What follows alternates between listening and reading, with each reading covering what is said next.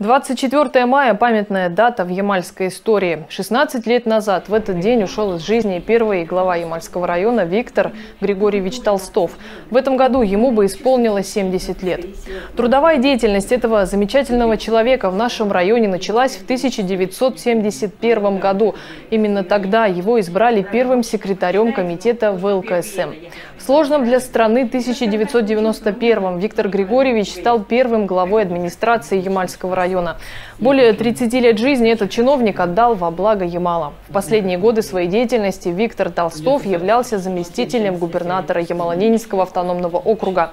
В районном музее хранится множество фотографий, личных документов, воспоминаний и наград этого заслуженного политического деятеля. Читая его первые воспоминания, вот как раз рукописные, он пишет, кто, как он попал к нам в Ямальскую, в Ямальскую тундру. Это поразило, это был апрель, как раз подсчет оленей.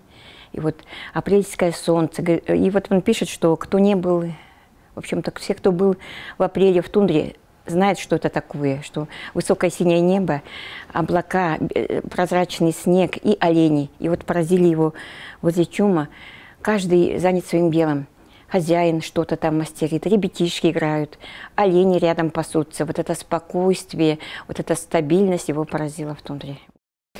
В свое время Виктор Григорьевич Толстов поддержал идею создания Центра внешкольной работы в селе Ярселе.